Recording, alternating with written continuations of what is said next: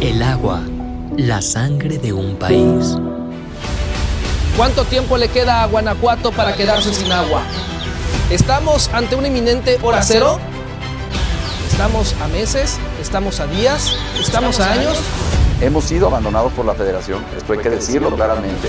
El gobierno federal como que no le interesa que nosotros eh, salgamos adelante y no le interesa a la gente del campo. Y la Secretaría del Medio Ambiente del gobierno federal no están haciendo su trabajo. A lo mejor el presidente es bueno, pero sus asesores que tiene alrededor, yo creo que son malos. Debería de ponerse al tiro también el gobierno federal de no abrir las fronteras de Brasil y Argentina para estar trayendo maíz transgénico, amarillo. O sea, yo diría que el día que llegue el día cero significa que nosotros no hicimos la chamba y tenemos que renunciar, ¿no? En perspectiva no existe el día cero.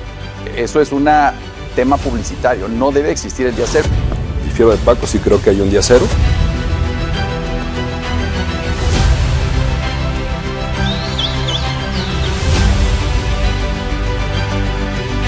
Sábado 24 de febrero, en punto de las 9, por Expresa TV, tu canal de expresión.